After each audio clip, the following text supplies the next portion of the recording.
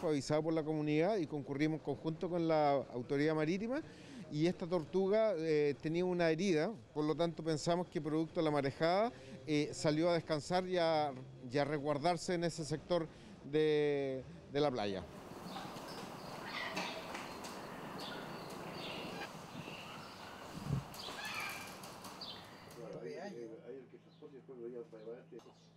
Los guantes, pues. Bueno, la semana pasada también rescatamos una tortuga en la chimba, la cual eh, hoy